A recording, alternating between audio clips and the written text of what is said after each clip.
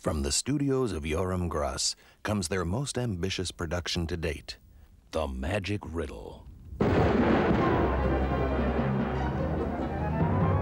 potpourri of classic fairy tales woven into one about Cinderella, forced into a life of toil and hardship through the scheming of her wicked, wicked stepmother.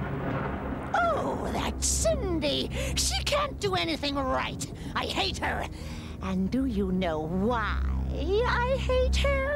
Because I'm mean, mean, mean. It's great to be mean. I love it. Mean, mean, mean. Can't wait to be mean. mean, mean. Never too late to be mean, mean. Guess it's my fate to be mean, mean, mean. I'm mean. And you'd have to be mean to have such attractive daughters like this. Nothing's too good for my own darling daughters. So pretty, so dainty, so gay. And I want the best for such wonderful children, and nothing will stand in my way.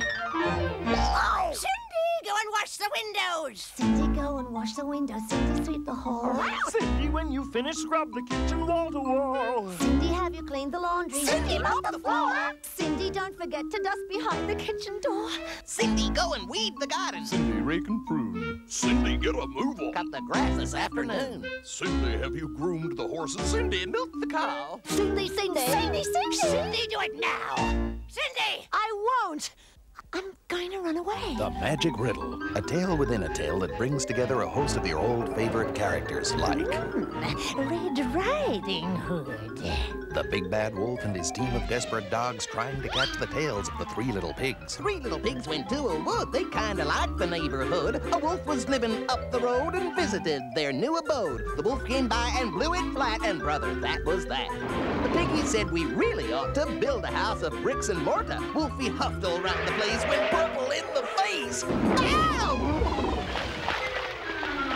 story to touch the hearts of young and old.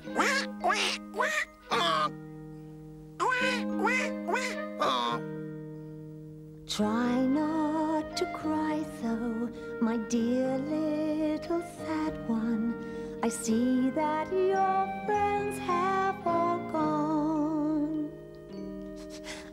I know what it's like being a poor ugly duckling and wishing that you were a swan.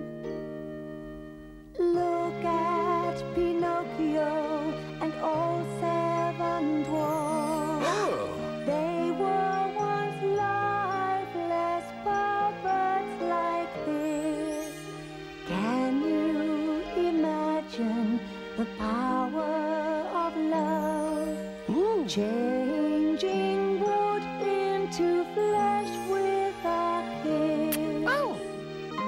It's a musical filled with beautiful songs and much, much more to make your dreams come true. and a time when wishing on a star can bring you every heart's desire. Oh, how I longed for my own dear Prince Charming to ride up and take me away. And now Cinderella has turned into Snow White, and there'll be a wedding today. The Magic Riddle, when being young at heart is all you need to be.